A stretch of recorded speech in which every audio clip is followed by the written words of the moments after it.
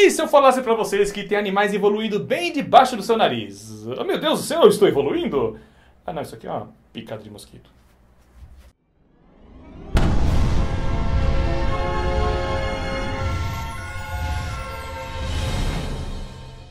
Escalabaloba! Olá pessoas, eu sou o Schwarza e bem-vindos a mais um Astro Pocket. E hoje eu vou falar de evolução. E sabe de outro lugar onde você pode aprender sobre evolução? Do meu livro do toma buraco negro. É, não é a evolução dos animais, mas tem a evolução das estrelas, que é como as, como as estrelas podem evoluir para buracos negros. Olha só que incrível. Se você ainda não comprou meu livro, tem links aqui embaixo na descrição. Quando falamos de evolução, pensamos nela como algo que já aconteceu, algo do passado. Pensando nisso, eu separei uma lista aqui com alguns animais que estão praticamente evoluindo diante de nossos olhos. Um deles é este lagarto que tem pés super pegajosos. Os lagartos verdes nativos que ocupam os galhos mais baixos e os troncos das árvores da Flórida acordaram assustados no dia em que seus primos, os lagartos marrons, se mudaram para o seu território. Ao se deparar com recursos limitados e o dobro de competição, os lagartos verdes resolveram se mudar. Abandonaram a parte inferior e se mudaram para a copa das árvores. E lá em cima os galhos são finos e lisos, o que selecionou apenas os lagartos verdes que possuíam um pouquinho mais de aderência, sendo que os que não se seguravam tão bem, bom, morreram esborrachados no chão. E isso gerou uma adaptação muito rápida na população. Para se agarrar melhor aos galhos mais lisos, os amortecedores em seus dedos ficaram maiores e suas escamas ficaram mais rígidas. Em apenas 15 anos e cerca de 20 gerações. Joel Stewart, pesquisador no College Natural Science na Universidade do Texas e principal autor do estudo, disse que se a altura humana tivesse evoluído na mesma velocidade dos dedos desse lagarto, a altura do homem médio, que hoje está em torno de 1,70, aumentaria para 2 metros em 20 gerações, e eu conseguiria trocar a lâmpada sem precisar de uma escada. E agora vamos falar da triste história do camarão que perdeu seus olhos. No processo de mudança evolucionária, ou você usa ou você perde. E isso se tornou uma triste realidade para alguns crustáceos que vivem em cavernas. Esses caranguejos e camarões vivem no subsolo, em lugares onde não há luz. Isso acaba tornando os olhos tão inúteis quanto o IGTV ou então esse porta-papel higiênico de cabeça. E o resultado disso é que eles acabaram ficando cegos, tendo que se orientar pelo olfato e o tato nas profundezas cavernosas. Quando os pesquisadores compararam os cérebros desses exploradores de cavernas aos seus parentes que viviam em terra, eles descobriram que essas criaturas não só são cegas, como estão perdendo parte dos seus cérebros associadas à visão. Enquanto isso, as áreas que controlam o tato e o olfato estão ficando maiores. O Dr. Martin Stegner, da Universidade de Rostock, na Alemanha, e autor principal do estudo, diz que este é um bom exemplo de condições de vida mudando a neuroanatomia. E agora eu vou falar das corujas que estão mudando de cor. As mudanças climáticas estão forçando muitos animais a se adaptarem para sobreviver. E o que está ocorrendo na Finlândia é um bom exemplo disso. Essas aves existem em duas cores, marrom e um cinza pálido. Os invernos frios e sua neve branca têm favorecido as corujas cinzentas, que podem se esconder de predadores se misturando com a neve. Da mesma forma que esta camiseta preta está me fazendo misturar com um pouco do cenário. E se o Gordon não tivesse esses detalhes brancos, ele estaria quase invisível. Mas como os invernos se tornaram mais leves nos últimos 50 anos, os pesquisadores notaram uma mudança. As corujas cinzas estão em declínio, nossa, minha voz está bonita hoje, enquanto as marrons estão prosperando, já que elas estão mais adequadas a se misturarem com os galhos da floresta. E quanto mais corujas marrons sobreviverem, mais genes marrons serão transmitidos através das gerações. Daí, seleção das espécies causadas pelas mudanças climáticas acontecendo na nossa cara. As mudanças climáticas que muitos de vocês não acreditam que está acontecendo, mas está acontecendo, também a força motriz por trás da recente mudança comportamental do salmão rosa. Eu falei mais rápido que um locutor de futebol. À medida que a temperatura da água sobe, os peixes estão migrando do oceano para o rio para desovar cerca de duas semanas antes do que há 40 anos é realmente uma mudança a nível genético.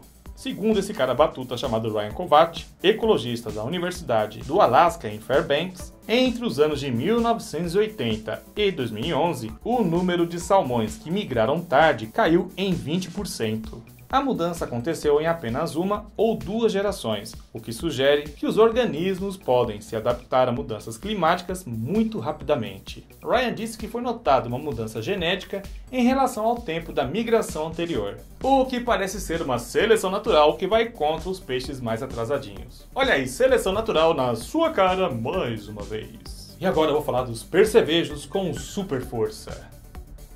Meu Deus. Aparentemente não estamos tendo muita sorte nessa batalha contra essas pragas que moram nos nossos colchões e cobertores. Na verdade, estamos produzindo percevejos mais resistentes aos produtos químicos que usamos para tentar derrotá-los nessa guerra. E esse é o cúmulo de nossa incompetência. De acordo com os pesquisadores da Universidade de Massachusetts, Massachusetts, Massachusetts, nome, o nome é horrível de sair. A minha esposa falou que se eu cantar o nome dessa cidade, ela sai com mais facilidade. Enfim, na Universidade de Massachusetts, os percevejos da cidade de Nova York são 250 vezes mais resistentes aos pesticidas do que os percevejos da Flórida. John Clark, toxicologista de insetos, diz que a resistência a insetos nada mais é do que uma evolução acelerada. E não são só os percevejos que estão ficando resistentes aos nossos venenos, os ratos também para o azar de quem morre de medo deles. Bom, eu não, eu não tenho medo de rato, eu tenho medo de sapo. Se eu ver um sapo aqui na minha frente agora, eu subo numa árvore numa velocidade próxima da luz. Pesquisadores descobriram um rato doméstico com imunidade à varfarina, que é um tipo de veneno tipicamente usado para combater infestações. Esses super camundongos foram descobertos na Alemanha, onde esse humilde rato doméstico procria com seu primo distante que é imune a este veneno, camundongo argelino. E o resultado disso é um rato híbrido com uma mutação genética muito útil que lhe dá uma vantagem sobre seus parentes roedores. Geralmente, os animais híbridos não podem se reproduzir, mas, segundo Michael Kuhl, autor do estudo, às vezes há um híbrido ocasional que tem a combinação certa de genomas de duas espécies que os torna, pelo menos temporariamente, superiores a espécies puras. É, por mais que muitas pessoas não acreditem nela, existem muitas evidências que a evolução está acontecendo neste exato momento. Algumas pessoas não levam a evolução a sério porque acreditam que ela é apenas uma teoria. Nós referimos popularmente ao termo teoria para indicar uma especulação ou palpite. Por exemplo, tem uma teoria de como vai acabar Game of Thrones. Mas o conceito formal e científico de teoria é bem diferente do significado coloquial. Ele é usado para uma explicação compreensível de algum aspecto da natureza que é apoiado por um vasto corpo de evidências. Temos evidências bem fortes que apoiam a gravidade, assim como temos muitas evidências testáveis da relatividade geral. E o mesmo acontece com a teoria da evolução das espécies. Esse vídeo só trouxe algumas de várias que dão suporte a ela. Então, é um grande equívoco se referir à evolução como apenas uma teoria, vocês podem teorizar sobre o que leva a Amelie ficar olhando fixamente para a câmera, e isso não tem nada a ver com o corpo teórico científico. Enfim, este era o vídeo que eu queria trazer para vocês hoje. Espero que tenham gostado. Se gostaram, não se esqueça de avaliar ele, que isso é super importante para o canal, ou de se inscrever no canal caso não sejam inscritos. E eu também tenho uma loja lá na Chico Rei vendendo camisetas batutas como essa que eu estou usando. Se você ficou interessado em comprar essa camiseta ou outras inspiradas no canal, tem link aqui embaixo na descrição. E me sigam também nas redes sociais. Eu tenho Twitter, Instagram e Facebook. Todas elas estão aqui embaixo na descrição. E o Instagram apareceu em algum lugar aqui da tela, acho que foi aqui. Neste sábado estarei na CCXP 2018 para um meet and greet, a partir das 15 horas. Se você for ao evento, me procure no stand Creators para a gente trocar uma ideia e se tiver meu livro, leve ele lá para eu colocar uma dedicatória batuta nele. E se você não tiver, não tem problema, pois o livro está sendo vendido no estande da Planeta de Agostini.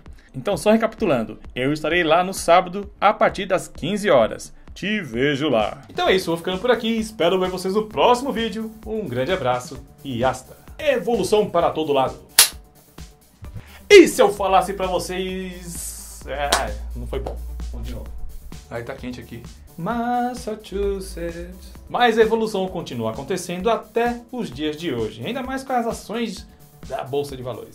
E agora eu vou falar das corujas que estão mudando de cor. Carro derrapando.